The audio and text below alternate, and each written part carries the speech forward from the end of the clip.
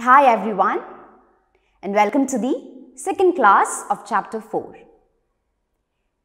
So in the last class we discussed about different kinds of materials and we learnt that different objects are made of different materials.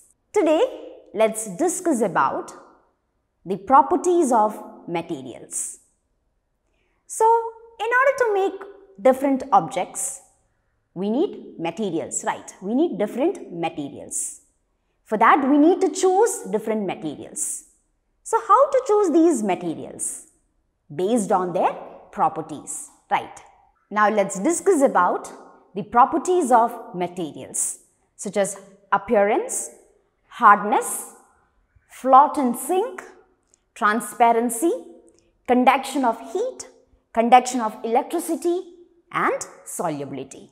So in this class, we'll be discussing the first three properties of materials. That is appearance, hardness, then float and sink.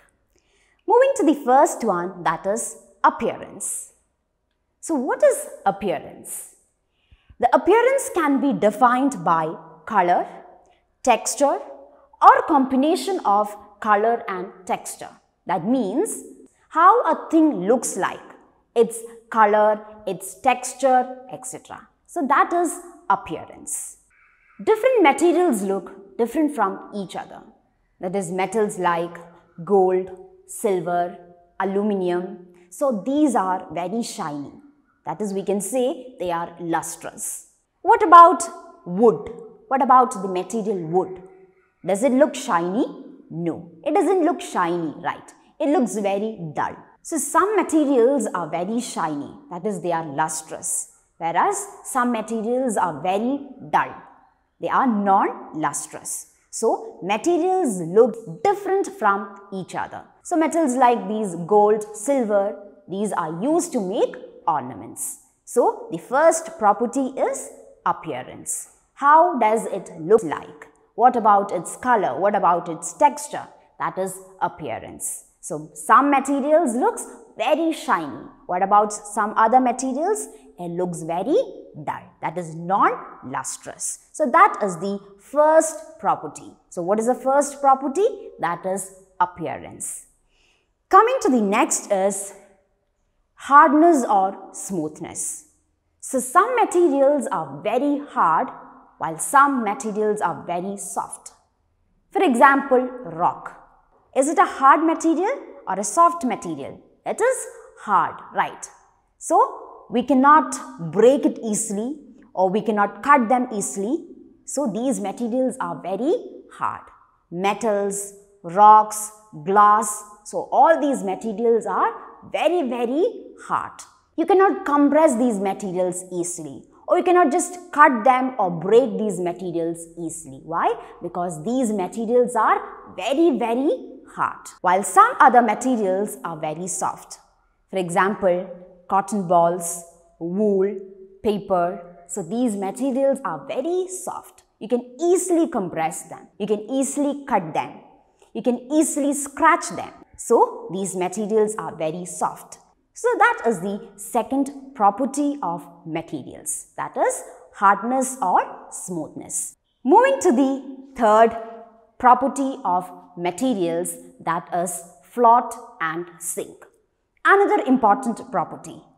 So some materials float in water while some materials sink in water. So if you take some objects and if you just drop it in the water, you can see some float on the water while some sink in the water. So if you take a wooden object and a plastic ball or a plastic bottle or you just drop it in the water, what happens? It will remain on the surface of the water. It stay on the surface of the water. That is, it floats on water. So these objects float on water. So why these wooden objects and plastic objects float in water? Why? Because the wood and plastic are lighter than water. They are less dense than water. So what about if you take a rock or a iron ball or a metal nail and just drop it into the water. What happens? Will it float? No, it will sink into the water. Why? Because these objects are heavier than water. They are dense than water. So that these objects sink in water.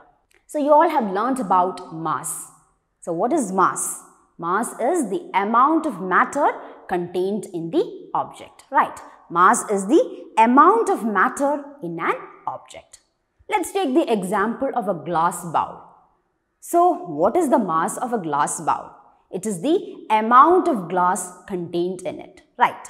So, if an object has lot of matter and a certain amount of volume, then it has high density. Volume means the space occupied by an object. So, if an object has a lot of matter and certain amount of volume, then that object has high density. Understood? Okay. Then, every pure substance has a definite density. What is the meaning of pure substance? Substances that are made of same type of particles or same type of atoms, we call it as pure substances. So, pure substances has a definite density. The other important thing is whether the substance floats or sink depends on the density of two substances. So, that is if an object has lot of matter and a certain amount of volume then that object has high density. If an object has small amount of matter and small amount of volume then it has low density. So, whether a substance float or sink, it depends on the density of that substance. So that is about the third property, float and sink. So some materials float in water because that materials are lighter than water. They are less dense than water. So that is why these objects float in water. While some objects sink in water. Why? Because they are heavier than water. They are dense than water. So that is why these materials sink in water.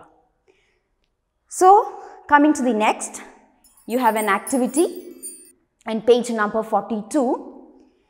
That is, you can take a button, you can take a cup of, you can take a cap of a bottle, a pen and a few moong or gram seeds in water. You have to drop these things into water. You have to drop a button, a cap of a bottle, a pen and a few moong or gram seeds, anyone you can choose and you have to drop them in water. Then you have to find out which of these things float in water and which of these things sink in water. So this is an activity for you and you can record your observation. And once you are done, you can submit in Microsoft Teams. So I hope you all understood about the topic that is properties of materials. And in that we discussed about the first three properties that is appearance, the second one is hardness and the third one is float and sink. In the coming class, we will be discussing the rest of the properties of materials. So till then, thank you.